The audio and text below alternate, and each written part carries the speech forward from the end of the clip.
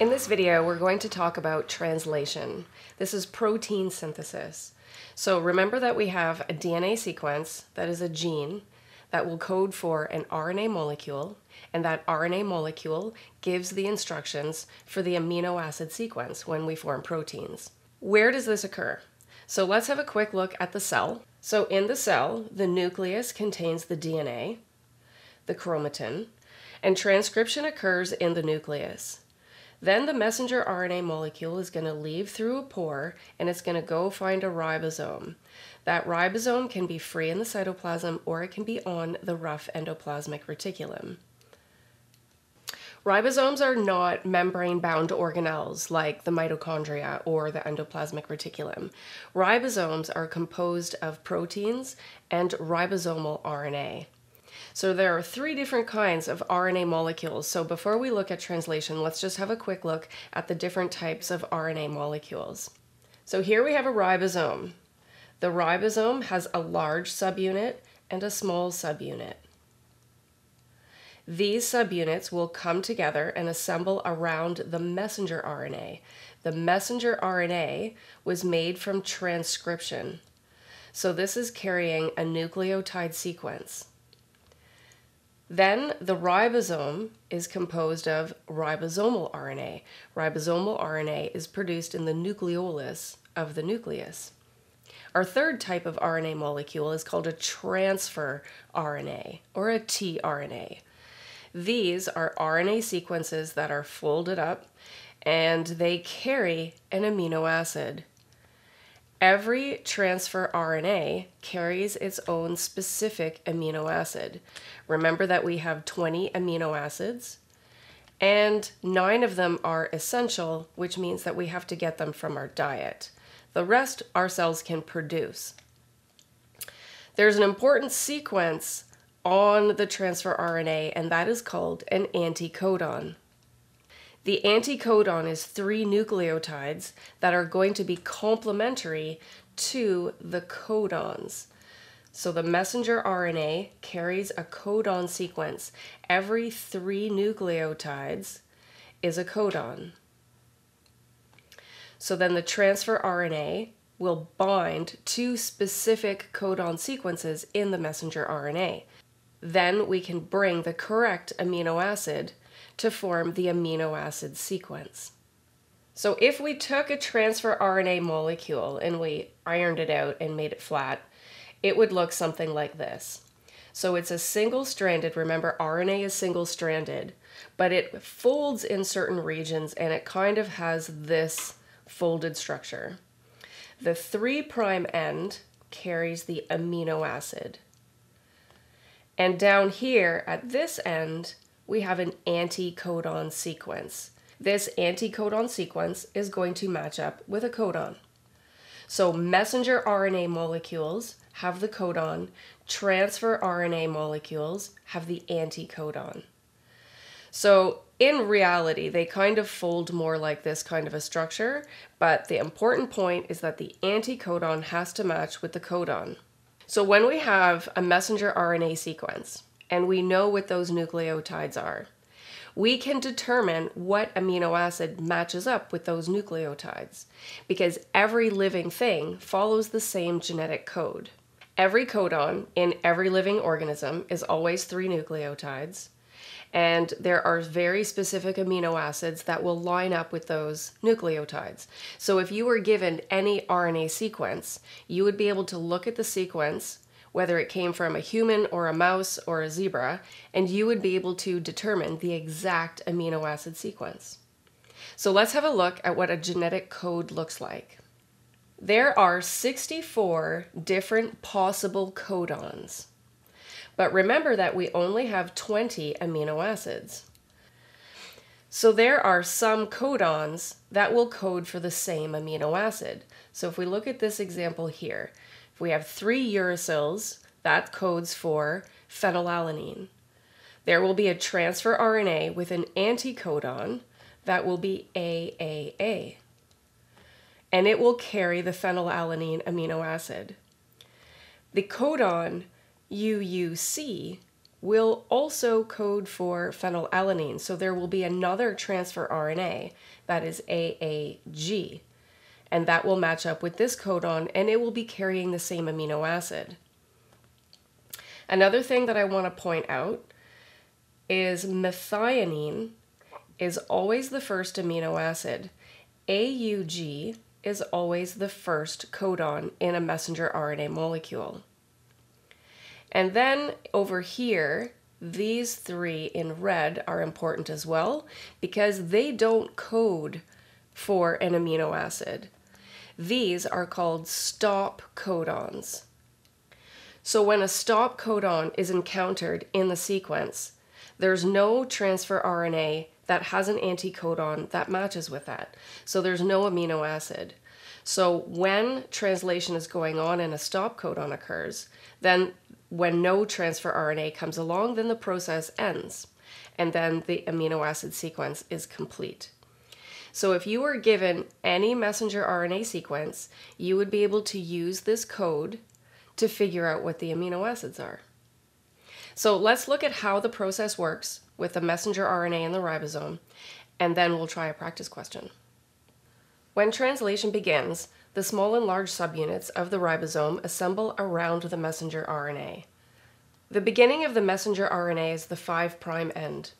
The start codon is always AUG, and that transfer RNA that matches that codon carries the amino acid methionine. This is the only transfer RNA that will begin in the middle of the ribosome. There are three sites in the large subunit of the ribosome the A site, the P site, and the E site. The A site is where the new transfer RNA comes in. The P site is where the peptide bond forms. And the E site is where the empty transfer RNA leaves the ribosome.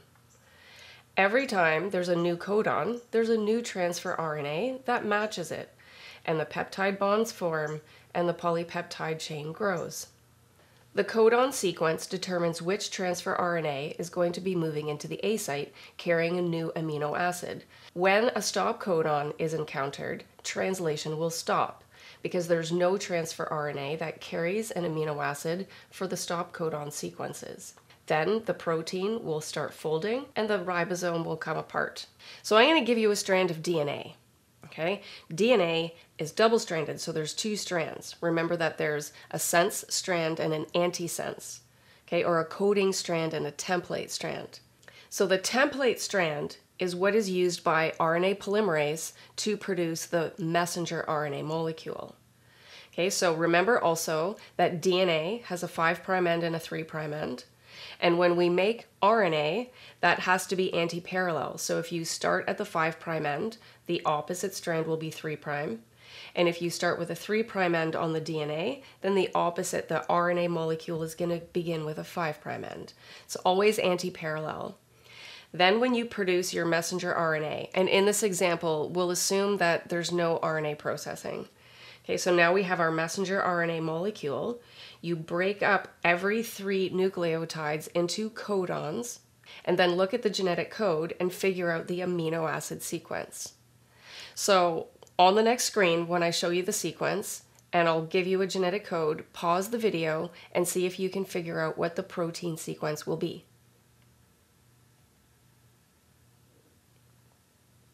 Were you able to figure out the protein sequence? So let's have a look at how we would figure this out. We have a template strand and a coding strand. The template strand is what RNA polymerase uses for transcription to produce the messenger RNA molecule, and it will be anti-parallel. So the messenger RNA molecule sequence is going to be 5 prime A U, because remember, messenger RNA does not have thymines, it has uracils. AUG, CUU, UCA, CGC, GAG, GGU, UAG. 3 prime. So we make the messenger RNA molecule by finding the complementary nucleotides to the template strand of the DNA. Now that we have our messenger RNA and we've broken it up into our three nucleotide codon sequences, now we read the genetic code and we look for what amino acid is going to coincide with each of those codons. So remember that the genetic code contains the codons. The tRNAs carry the anticodons that will be complementary to the codons. So here was our RNA sequence, and we break it up into our codons. So let's just look at the genetic code and look at the first two codons. So we have AUG and CUU. So our first two codons were AUG and CUU. So we look for the first codon along this axis. Here's the A column. AUG is going to code for methionine. CUU, here's the C column, here's the U column. CUU is going to code for leucine. So did you get this protein sequence? Okay, now you know how to translate messenger RNA into proteins. There's just a couple other things that I want to mention. With prokaryotes, bacterial cells, they don't have a nucleus. So transcription and translation happens in the same place. So they have a nucleoid region where their DNA is located, but once transcription occurs and there's a messenger RNA, it can immediately go to a ribosome. Remember that bacteria don't have membrane bound organelles. Ribosomes are not membrane bound organelles. So all living organisms, from prokaryotes to eukaryotes, have ribosomes for translating proteins. The other thing that I want to mention is in our cells, in eukaryotic cells, we have another organelle in the cell called Golgi bodies. And Golgi bodies are where proteins can be modified. So once translation finishes, if the ribosome was on the endoplasmic reticulum, that protein will be formed in a vesicle that will move to the Golgi, and then in the Golgi, that protein can be modified in some way. So, for example, we can make lipoproteins, which are fats attached to the protein.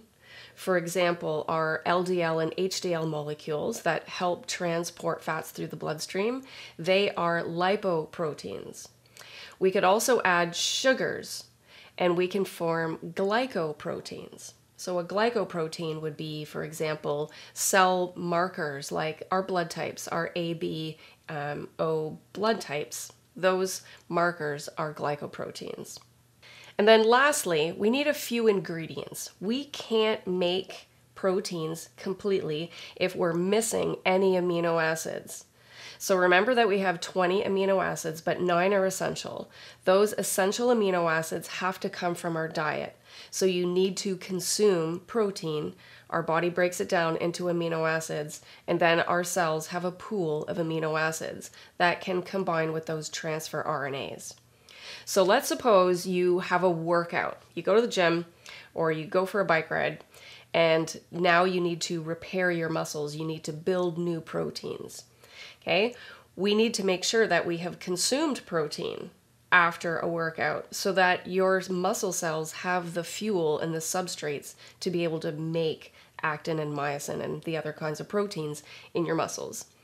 So, consuming protein is important. The other thing that's important is we need energy. Making proteins is an energy consuming process. And what foods give us energy? Carbohydrates. So, the best time to have your highest carbohydrate meal of the day is after a workout because your muscles will use it to make energy for building proteins. And then lastly, there's a few hormones that are involved in stimulating protein synthesis. So, growth hormone will stimulate protein synthesis. And growth hormone also stimulates insulin like growth factors, which are produced by the liver.